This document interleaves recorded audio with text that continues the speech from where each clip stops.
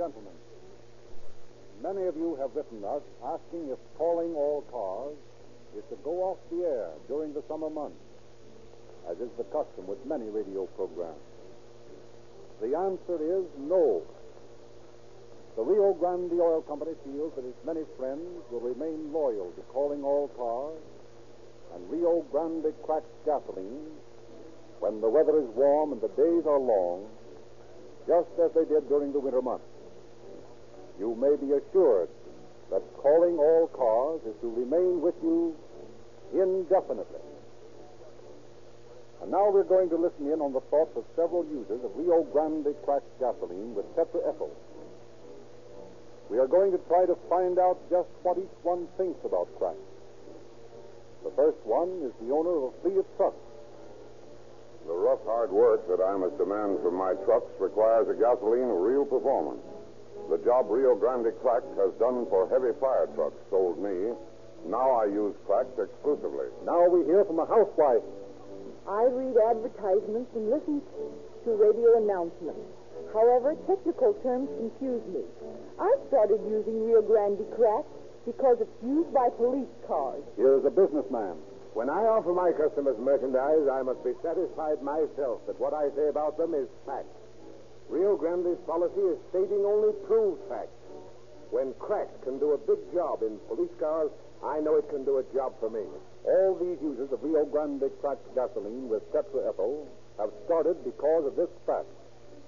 More police cars, fire engines, ambulances, motorcycles, and other emergency equipment operated by cities and counties in Southern California and Arizona are powered with Rio Grande cracked gasoline than all other brands combined.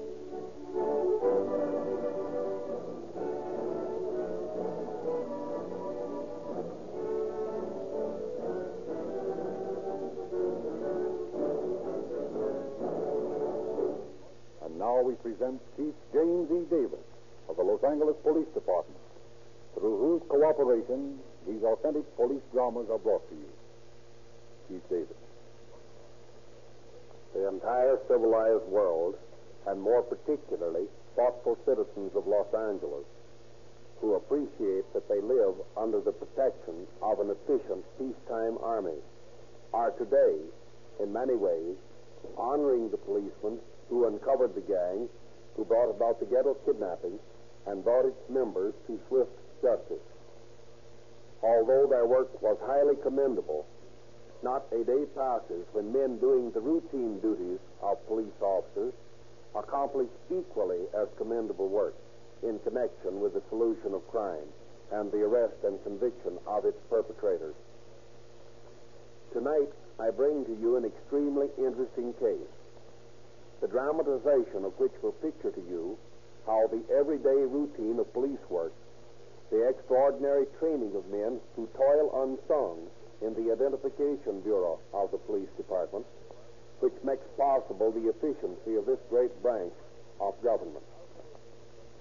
I am particularly happy to present this story to you, and in doing so, compliment the work of Captain Howard Barlow, who has built up the Fingerprint and Identification Bureau of the Los Angeles Police Department to a position second to none of any similar department in the world. Under Captain Barlow's direction, your police department maintains a highly scientific organization of men and women who are able to solve crimes quickly. This division, although given little publicity and public recognition, is responsible for a large percentage of cases solved by the police department and the discovery of legal evidence necessary to convict criminals who, in the absence of proof of guilt, might escape punishment. Professor Lindsley will now go on with the story.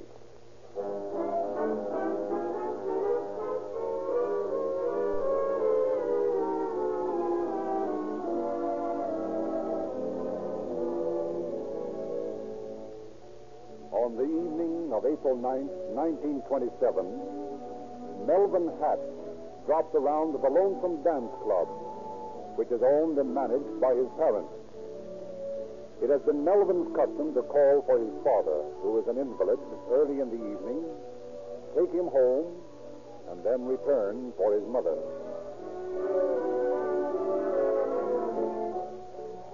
Hello, Mother. Hello, son. Oh, hello, Dad. How are you feeling this evening? Not bad, Melvin. A little better than yesterday. Well, that's fine. A nice crowd tonight, Mother. Yes, we've had a good night so far, taking in over $200. Gee, that's great. You'll make a million out of this place yet. Oh, hardly that. Well, maybe not. But it is a good idea having a place like this where lonely people can get together and have a good time. Well, your father and I can appreciate what it means. We were lonely enough out here while you were away at war, Melvin. Well, you needn't worry about that any longer, Mother, because I'm never going away from you again. Oh, I hope not, son. You look pretty tired, Dan. You ready for me to take you home? Yes, son, I guess so. Now run along, Papa, and don't wait up for me.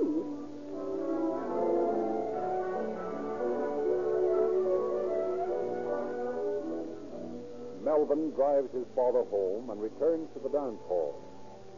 A few moments after he has entered the house, Dr. Hatch hears the doorbell ring.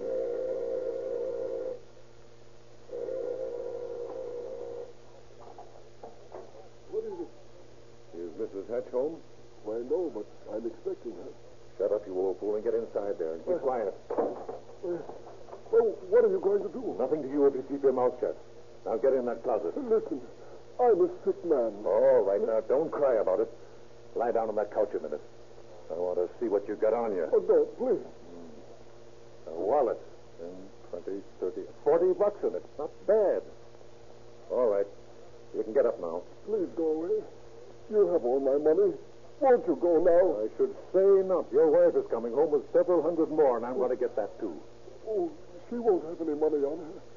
She's just been visiting a friend. Now, don't give me that. I know she's down at the dance tonight, and I know that she'll bring home the gate receipt. She always does. How do you know that? Eh, you don't suppose I go into this without figuring out every angle, do you? The best thing you can do is to keep quiet. You just sit there by the fire as though nothing happened. Go on, sit down. I'm going to turn this light out, and I'm going to wait in that closet until she comes home. And don't you try any funny business, because I got this gap lined up on you every minute.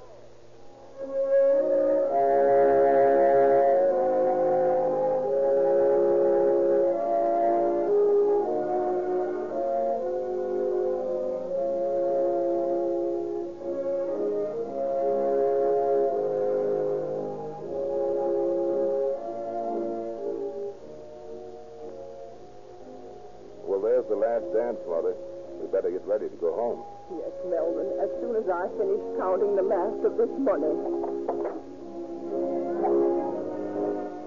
Well, Mr. Freeman, I guess we can close up in a moment. Looks that way.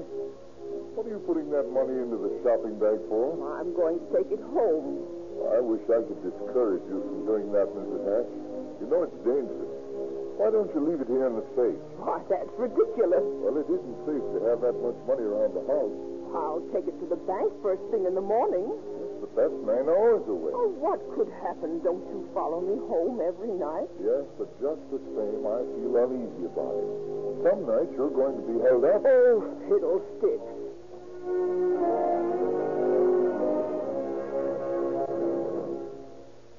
Arriving at the Hatch home at midnight, Melvin locks the garage.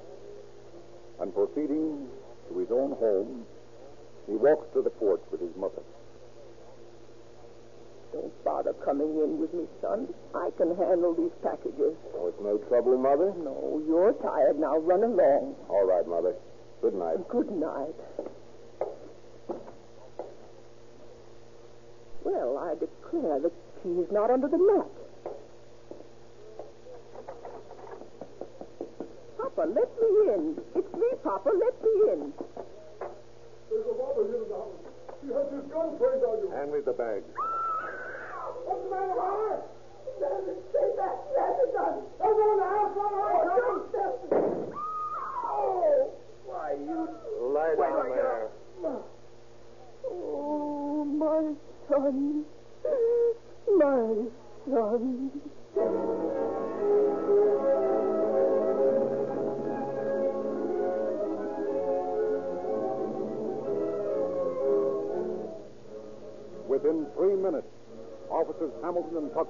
Scene.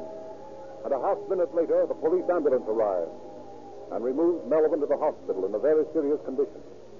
Police Sergeant Fredrickson of the Fingerprint Bureau is the next official to appear. Very little hope to go on, Sergeant. The suspect is described as about five feet ten inches tall, weight 160 pounds, age about 25. Yeah, there's thousands like that in any large city. Yeah, that's right. And he was masked, so there's no facial description. That's right, Doctor. Uh, Dr. Hess, Yes? would you mind pointing out to me the various articles the suspect touched while he was in here? Why, oh, yes. Hmm. Let's see. He had hold of the doorknob. Hmm, that doorknob, eh? Let me see. No. No, there's nothing there. But I don't think he touched anything else. He seemed to be careful not to. Oh, yes. He hid in the closet. He must have touched the knob on that door, too. Which closet is that? That one. Over there by the fireplace. Well, we'll take a look at it.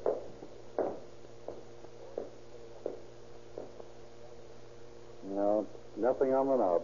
Looks pretty hopeless. No. Wait a minute. Here's a smudge on the edge of the door. I'll just dust that. Bring out the marks, huh? Mm-hmm. This is what you call a latent fingerprint. When you put this powder on it, you can make it out. See? Yeah. Say, that's pretty swell. You know, fingerprinting always interested me. You ought to come around the bureau sometime. Lieutenant Barlow, our boss, is one of the smartest fingerprint men in the country. Is that a fact? Yes, sir. Now, Tucker, if you'll hold this door steady, I'll just photograph this baby. There. Perfect print. Yeah, but look, Sergeant. That's only the print of one finger. That's right. The index finger. That isn't any good for identification, is it? Well, it wouldn't be in most places, but Barlow will know what to do with it. He has a whole file of single fingerprints. Yeah? Sure, there are only three others like it in the world. One at Wichita, Kansas, one at Berkeley, California, and the other in Scotland Yard. Well, I'll be darned. This is some outfit we belong to, isn't it?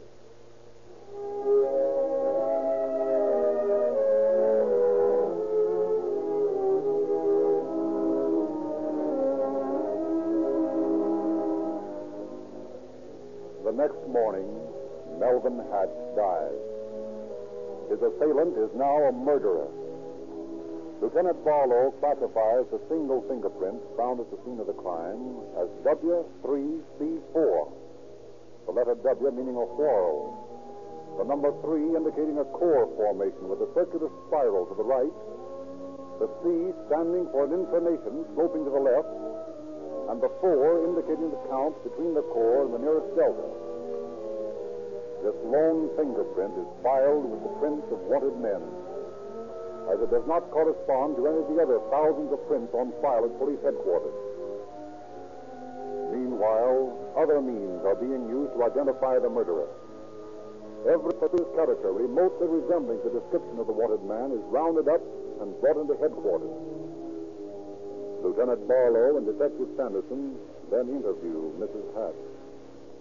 I regret very much, Mrs. Hatch, that we have to ask you to come down here at this time. Oh, it's quite all right, Lieutenant. I'll do anything to find the man who killed my boy. Anything. Well, Mrs. Hatch, we've rounded up some suspects, all answering the general description given by you and your husband. I wish you'd brought him with you. I couldn't today, sir. He's all broken up. This terrible thing is almost too much for him. Oh, I'm sorry to hear that, ma'am. You say you have some suspicious characters here? Yes, but we don't see how you can tell much about them. After all, the man who shot your son was mad. How could you identify Robert if you did see him? Oh, I'd know him anywhere. How? By his voice, By his voice. certainly. But, Mrs. Hatch, that sort of identification is too flimsy. Why, no jury in the world would convict a man on that score. I can qualify as an expert on voices, gentlemen. I used to teach voice culture in the public schools in Wisconsin. I know I'll never forget the voice of that man. He said only two sentences hand me the bag and lie down there. But the tone of his voice is indelibly engraved in my mind. I'll never, never forget it. Well, I don't know, Mrs. Hatch. It's one of the strangest means of identification I've ever heard of. But maybe it's worth something. What kind of a voice would you say he had?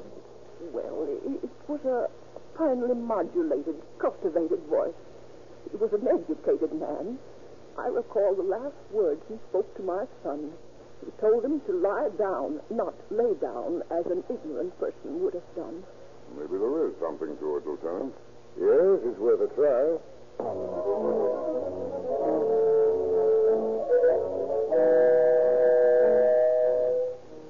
Lieutenant Barlow and Detective Sanderson lead the distraught mother into the show-off room. The suspected men are led out behind the screen, their faces lit up by blinding light, so that they cannot see the people beyond the screen. Lieutenant Barlow addresses them. Now, I want you men to repeat these words. Hand me the bag and lie down there. Start with the man on the left. Hand me the bag. Lie down there. Next. Hand me the bag. Lay down there. Next man. Hand me the bag. Lie down there. Let me hear him say it again. Repeat that, will you? Hand me the bag. Lie down there. No, that isn't the voice. Go on, Lieutenant. All right, the last man. Hand me the bag. Lie down there. Okay, that's all. Take him back, Sergeant. Well, Mrs. Hatch? No, none of these men was the man who killed my son.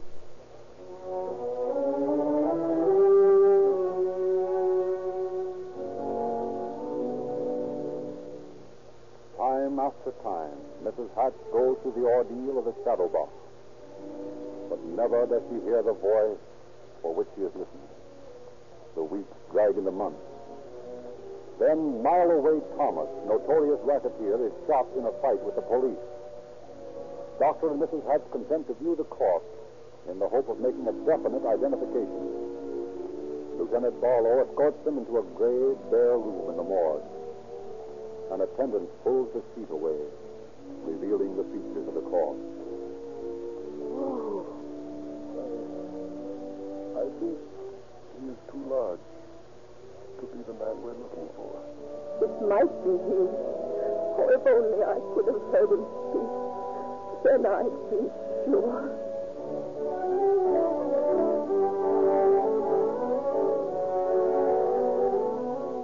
Many officers in the police department are of the opinion that the murder of Melvin Hatch was another of Mile Away Thomas's crimes, and so consider the case closed.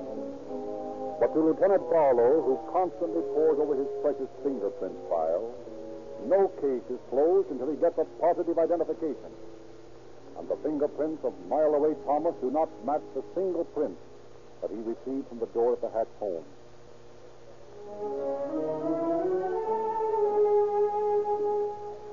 Shortly afterwards, Dr. Hatch, grief stricken by the death of his son and weakened by his long illness, died. The possibilities of identification are thereby lessened to Mrs. Hatch's recognition of a voice, uttering seven short words, and to Lieutenant Barlow's matching a single fingerprint. Three years pass.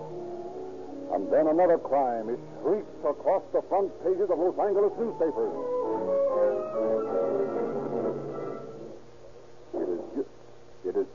25th, 1930.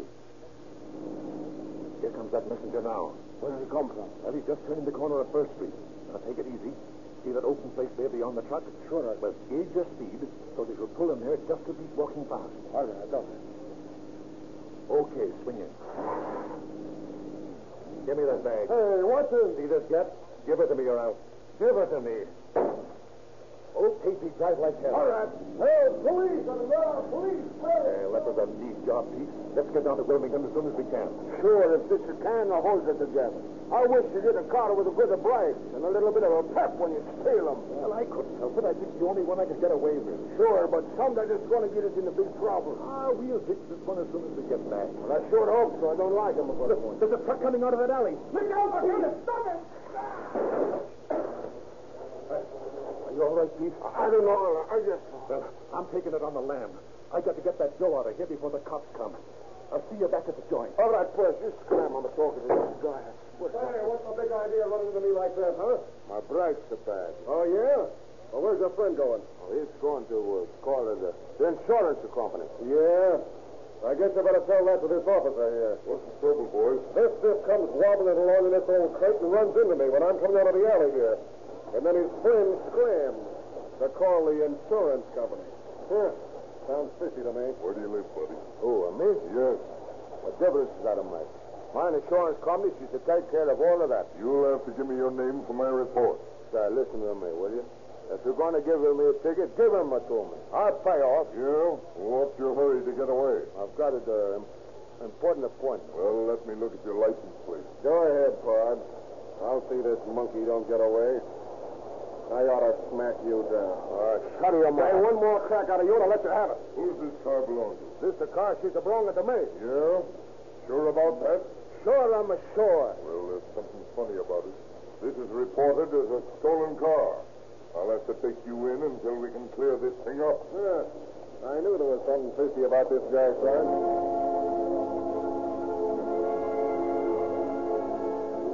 Although Solano steadfastly refuses to talk, police discover several addresses on his person. Running these down, bring them at last to a house in Wilmington.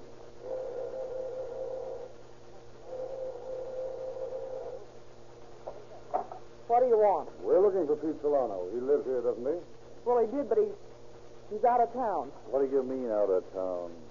Well, he hasn't been here for a week. Well, how about the guy that lives with him? Is he here? Well, I really don't know. Let's not beat around the bush, sister. We're police officers. See this button? Well, what of it? Just this. You're going to show us up to Solano's room. But I don't know if he's in. I don't know if I should. Oh, yes, you should. You wouldn't want to get in a jam obstructing the law, would you? Well, no. Okay, lead the way. Well, come on. Say, be careful of Mr. Eberly if he's in. He's, um, a sort of a dangerous character. This is as far as I'll go. He's in the second door to the left. Okay, lady, thanks. Better unlimber your gad, Jack. You may need it. Right. Try the door first. If it's unlocked, fires right in. Okay, let's go. Hey, what is this? Pick him up, Eberly. We're police officers. Up, he said. Keep your hands away from that fellow. Better take that gun away from him, Jack. Okay. Hey, what's the rap? Robbery.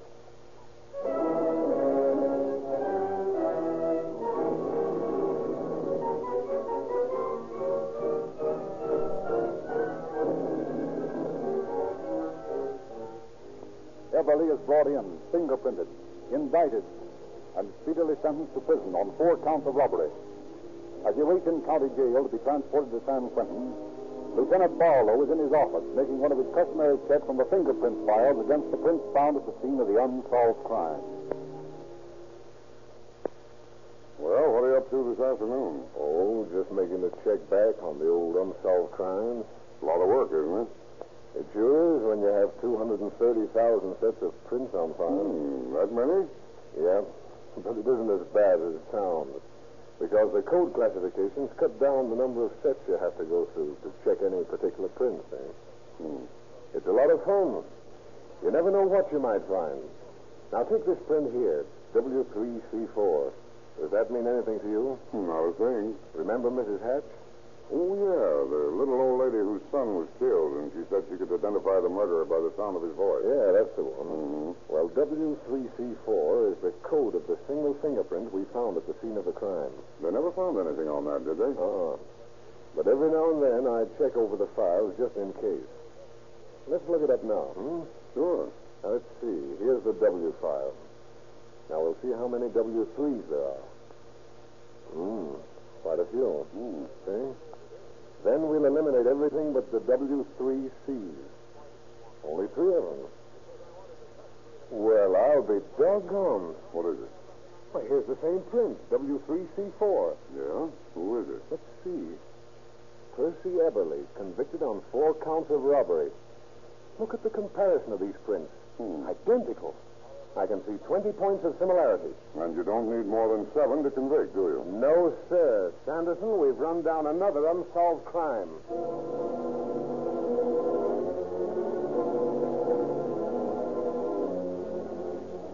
Eberly is surprised to be summoned from the cell in which he is awaiting his trip to prison as a bank robber and taken to detective headquarters to face Barlow and Sanderson. Eberly, where were you on the night of April the 9th, 1927? Huh? How the devil should I know? That was over three years ago. Well, perhaps I can refresh your memory. On the night of April the 9th, 1927, you shot Melvin Hatch. What the hell are you talking about? I have definite proof that you're the murderer of Melvin Hatch. Hey, this heat must be getting you, Lieutenant. I don't know anyone by the name of Hatch. You're positive of that, Eberly? Uh, sure I am. You didn't kill Melvin Hatch? No, of course I didn't. Very well. In that case, you wouldn't mind appearing in the shadow box so we can clear up the similarity, eh? Know. I'll go into the show up. Good. When we want you, we'll call you.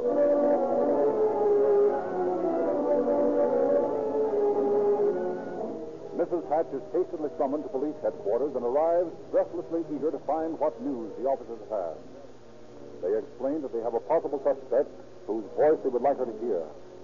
Once more, as she had been so many times before, she is led into the darkened show-up room. I hate to ask you down here, Mrs. Hatch. You may be on the wrong track again. Quite all right, Lieutenant. I'd come down a thousand times so long as we get the man who killed my son. You're a brave woman to go through this ordeal time and again, Mrs. Hatch. Well, it's nothing. I live for the day when I'll see justice done. Are you ready to see the men? Yes, I'm quite ready. Bring in the prisoner, Sergeant. Yes, sir.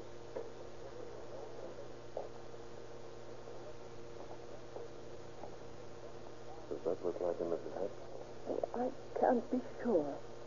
Ask him, ask him to say those words. Eberly, I want you to repeat these sentences. Hand me the bag and lie down there. Hand me the bag. Lie down there. That's he. I'd know that voice anywhere. It is the man who murdered my boy.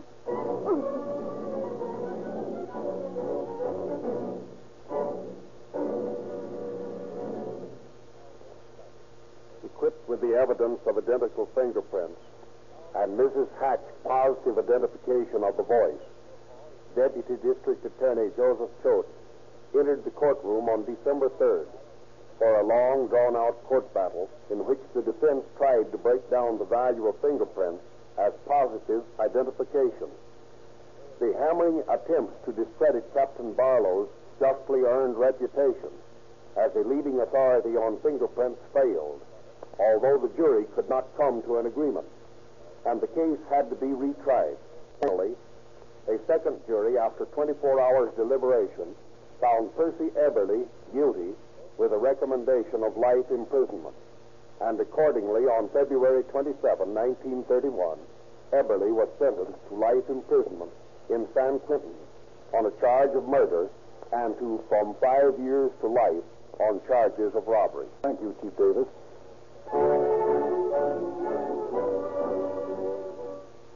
Ladies and gentlemen, every year police cars, fire engines, ambulances, motorcycles, and other emergency equipment travel millions of miles in their daily jobs of protecting the lives and property of citizens living in Southern California and Arizona. These millions of miles are run with Rio Grande cracked gasoline. No motorist will ever require from his car the results demanded by police and fire departments. Results delivered by Rio Grande cracked with tetraethyl. But why not get this extra performance? Rio Grande cracked with tetraethyl costs you no more. And when you try Rio Grande cracked, why not try its famous companion product, Sinclair Pennsylvania and Sinclair Opaline Motor Oil?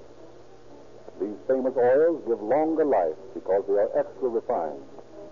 Also, you are positively guaranteed against substitution because both are sold only in extra measure tamper-proof cans. With all their advantages, it is surprising that Sinclair Pennsylvania and Sinclair Opaline cost no more than ordinary oil.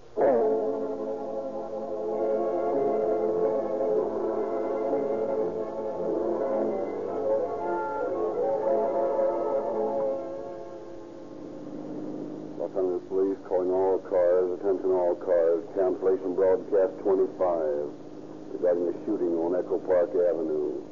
Suspect is now in custody. That's all. Rosenquist.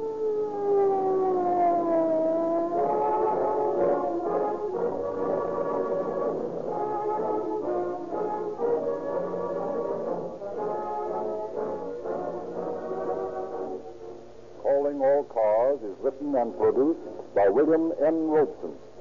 The orchestra is under the direction of Frederick Stark. This is Frederick Lindsley saying good night for the Rio